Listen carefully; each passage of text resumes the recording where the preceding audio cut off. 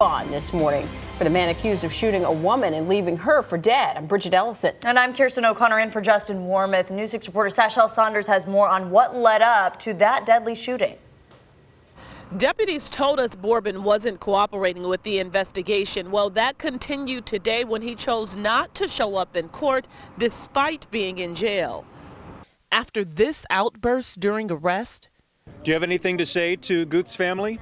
I ain't Felix Borbin, the man police say shot 29 year old Marie Guth and left her to die behind an old tire shop on Silver Star Road, didn't want to show up to court. Uh, what happened to Felix Borbin? And so the judge went on without him. All right, uh, 2018 CF 1453AO. He's facing first degree murder charges. Court documents say he shot Guth in the back of the head all over an argument with someone else over money. This is an old beef uh, that worked out between some mutual friends.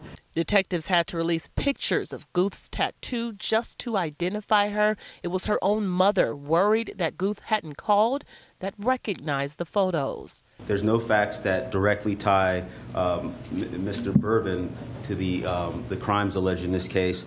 Detectives say Borbin, who goes by the name Ratchet, confessed to friends that he killed Guth, burned the stolen car he was driving, and tried to hide the gun he used. No bond. He'll remain in jail with no bond. Reporting at the Orange County Jail, Sashel Saunders, News 6.